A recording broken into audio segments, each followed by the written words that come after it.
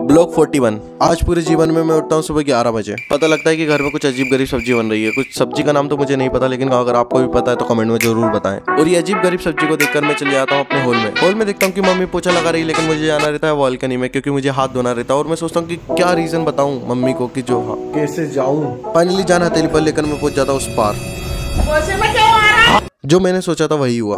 और इतने में भैया का फ़ोन आ जाता है कि पार्सल वाला नीचे खड़ा है। अपने चेहरे पे मुस्कान लेते हुए मैं चले जाता हूँ डिलीवरी बॉय के पास और मैं लेता हूँ अपना पार्सल सल पेड़ है ना? मैं सोचता हूँ कि इस पार्सल में कुछ खाने का होगा और मैं इसी तरह जल्दी जल्दी अनबॉक्सिंग करता हूँ इसकी फटाफट। मैं सोचता हूँ कि भैया ने कुछ खाने का भेजा होगा लेकिन दिल टूट जाता है। उत्सुकता और एक्साइटमेंट में इसका रेट पूछता हूँ मैं। कितना का मतलब सौ रुपए रेट सुनकर मेरी औकात भी चूर चूर हो गई और फिर हम चल देते हैं। यूट्यूब पर एक लाख व्यू कंप्लीट होने पर हम पहुँच जाते हैं बुरहानपुर। बुरहानपुर नहीं बुरहानपुर जलेबी वाला। बीस रुपए की खुशियों की पोटली में जलेबी लेकर मैं पहुँच जाता हूँ अपने दोस्तों के पास, और इसी तरह हो जाती है जलेबी पार्टी।